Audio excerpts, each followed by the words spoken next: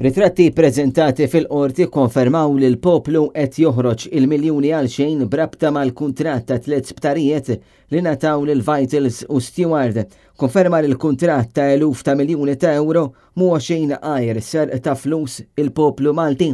Dan ħareġ meta ttellgħu l-provi forma ta' ritratti biex ta' parsi juru fejn intefqu l-flus u mir-ritratti rriżulta li prattikament ma sar xejn. It-Tnejn filqorti kompliet il-kawża li fetaħ id-Deputat Nazzjonalista Adrian Delia kontra Vitals u dak li ġie ppreżentat fil-Qorti huwa wieħed xokkanti b'ħafna mix-xogħol li kellu jsir għadu lanqas biss beda.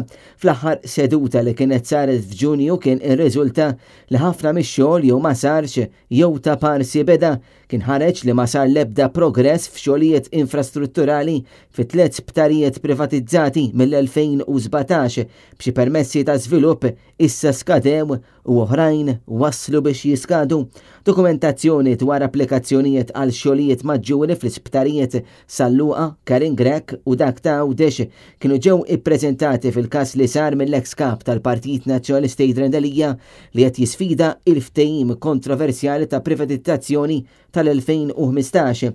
Adrian Delia qed jargumenta li l-konċessjonarju orġinali Vitals Global Healthcare u s-suċċessur tiegħu Steward Healthcare naqsu milli jissodisfaw l-obbligi kuntrattwali ta' dak il-ftehim.